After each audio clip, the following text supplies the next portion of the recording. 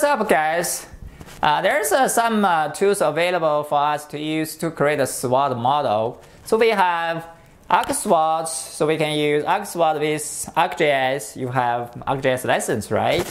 Also, if you want to use open source GIS, we have QSWAT right now. So you can use QGIS. It's open source, it's free, it's good. But there's another one available. It's called MWSWAT. Have you guys uh, been using MWSWAT before? I'm not. Uh, recently, uh, I look into uh, MWSWAT because I want my uh, SWAT output viewer to support MWSWAT products. So I spent a little bit time looking into that. What I found is, oh gosh, the MWSWAT is very similar comparing to QSWAT. So today in this video, uh, I want to compare these two, QSWAT and MWSWAT, and see how close they are. And probably we will dig a little bit further to see why they are very close and uh, something more detailed technical part. And um, okay, let's jump right in. Let's first look into the QSWAT interface. QSWAT is a relatively new tool uh, for SWAT modeling. I think it just created like two or three years ago. And, um, and this tool is based on the QGIS, which uh, is an open source GIS platform. Right now it's getting very popular uh, uh compared to other GIS platform. I think it's probably it's a right decision to create a tool for QGIS other than other GIS platform because um, a lot of people using QGIS right now. So anyway, so uh, like look into the QGIS right now. Um, after you install the QGIS, it basically is a plugin. You will add have a button here in your toolbar somewhere. And if I click this button, you will get some window uh, like this. They say QSWAT 1.5 here, and you will have you can create a new project.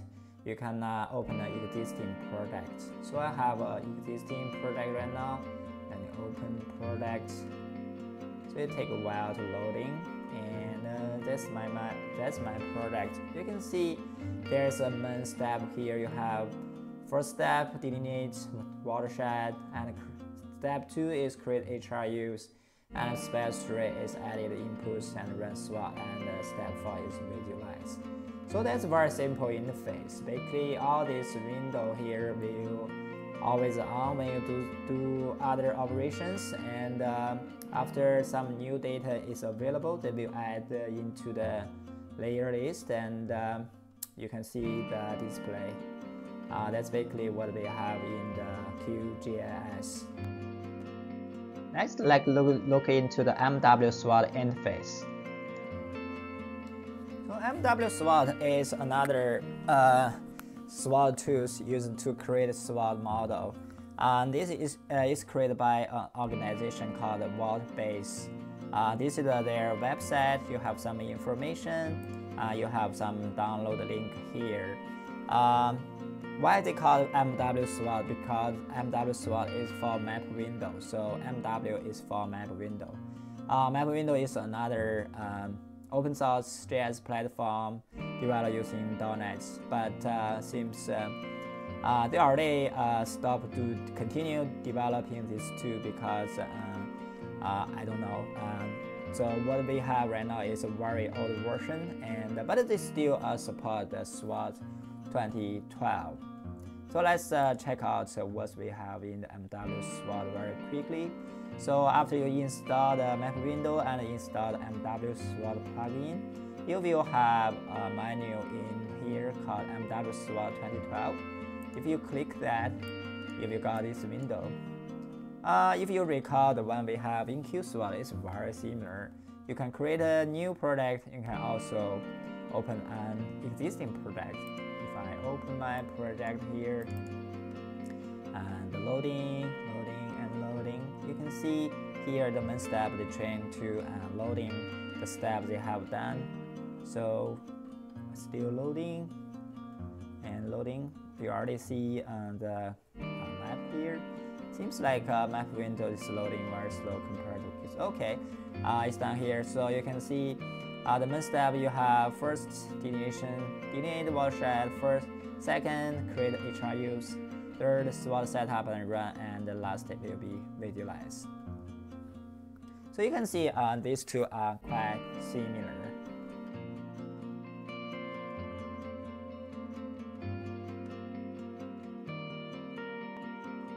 So we have a look into this uh, interface in the QSWAT and WSWOT, but you already see that they are very similar. So let's do a summary here and put them side by side for uh, the same text to see uh, how close they are. So first we will look into the main step page uh, in these two softwares. So on the left part is the QSWAT, on the right is the MW SWAT. So you can see uh, when after I open a existing product, so in the main part, in step part, you will have the same thing, uh, all the same four parts here, and on the top you have new project, existing project, and on the left uh, bottom part you have the reports, uh, so you can use to um, uh, open some of the reports during the delineation.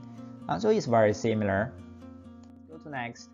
Uh, next will be the watershed delineation. So uh, this part will be you need to load the DEM file and uh, do the flow accumulation and do define the stream and delineate the catchments, all the stuff. So basically, probably it's too small, you cannot see, but you can generally see that uh, it's very similar layout also. First, you have select this DEM here on the top, and then you have some threshold value to define the stream and create the stream.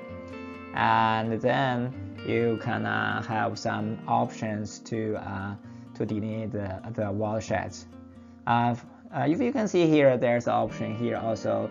Uh, in the QSWAT, you can select a reservoir uh, subbasin basically if you select that subbasin as a reservoir they will create a reservoir for that subbasin uh, here same thing you have the same option options here so again it's very similar for this section uh, next is uh, step will be uh, to create the HRUs um, you can see um, um, it's very similar again and on top uh, you will give the land use map, land use map, and then soil map, soil map here. And also you need to choose uh, the soil data and the uh, soil table here, different uh, options. And after that, you can set up um, the way you want to define the HRU, uh, dominant land use or dominant HRU or something. Also for the land use, soil, and slope, you can set up a threshold value to uh, define the HRU. And to add last, you can create HRU here. So again, it's very simple.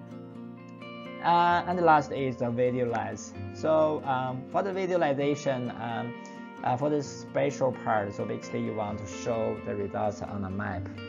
Um, so on the left is the QSWAT. Um, because my resolution is pretty high and uh, seems um, uh, QSWAT have haven't been done a good job to uh, to make this interface uh, very good, but uh, it's squeezed in very small. And but you can see compare uh, to the MW SWAT on the right here. So first you need to choose a scenario and choose the SWAT output also, and uh, then uh, in the QSWAT, you can uh, choose a period from uh, have a starting date, finish date, but in uh, MW you don't have one. Uh, and then you have the result file, and again on SWAT, uh, MW you have the result file. And then you have this table here, you can choose variables. You can choose one of them from list, or you can choose all of them. And then you can choose summary, totals, average, or everything. And then you have the create button so you can see uh, that map. And then for the uh, that's for the map part. So if you want to do a plot for the time series, you also can do that in both software. Uh, kind of similar again here. So basically you have choose the variables. You have these uh, tables on the bottom. You can select what uh, what variable you want to uh, plot. And the same thing here on MW SWAT. Uh, very interesting in MW SWAT is the, the SWAT uh, plot this program. It actually is a separate program in MW SWAT. Uh, you need to open that in uh, another folder. It's not available in that plugin. But anyway, they give you that so you can use that. And after you do that plot, you can see um, that's the plot itself. On the left is Q SWAT, on the right is MW SWAT. So you can see um, it's similar again and uh, here you have the graph itself and on the bottom you have uh, uh, the table so uh, it's very uh, it's very similar again. Um, so you can see this interface is very similar and uh, um, I think it's normal right so because they they both serve to the same purpose which it will be you have a DEM file and you have the soil on all the data. So what this interface do is just take in the, all the file and create uh, SWAT input files, right? Um, uh, another thing we want to compare is the programming side. Um, so uh, as you may know that uh, QSWAT uh, plugin is created in Python because that's the language you need to use when you create a plugin for the QGIS platform. And the MW SWAT because the uh, map window is based on .NET, so the MW um, MW uh, MW SWAT the plugin is based on the uh, .NET um, programming language. So uh, it's different programming language but a similar interface.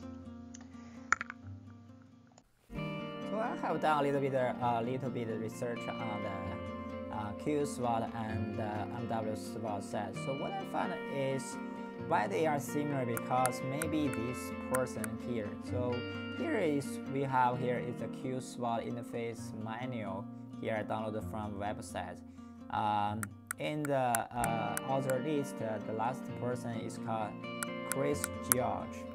So um, so Chris George um, also uh, appears in MW SWAT uh, order list. So uh, I, I want to show you on that, but it seems right now the SWAT website is down, so I can't show you. Uh, if you go into the MW SWAT page on the SWAT website, you can see uh, they say a Chris George has presented to in some user experience, user uh, conference something. Uh, that's the, I think that will be the same Chris George there. Um, so I think uh, that will be why these two interface are so similar because they have the same author, just uh, they use different uh, programming language this, but they have followed exactly the same design. Um, probably they thought, oh, this design is very good and um, uh, it's, it's good to follow that uh, design in the Q SWAT. Um, I'm not sure it's a good design or not, and uh, but um, uh, it works. So that's the most important part. So today in this video we are talking about uh, the Q SWAT and MW SWAT. As you can see, these two are very similar. Probably uh, the, they're based on the same design from the same person. So wow, that's why they are similar, right? The only difference is uh, they are based on different GIS platform and using different programming language, but uh, uh, basically they are same software.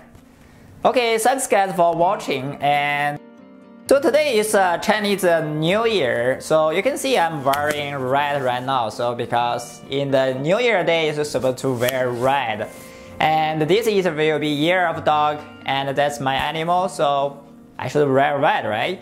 So anyway, so uh, hope you guys, if you celebrate Chinese New Year, hope you guys have a very good New Year for the year of the dog. Um, so yeah, that's it for today, this video, and uh, hope to you see you guys in next one.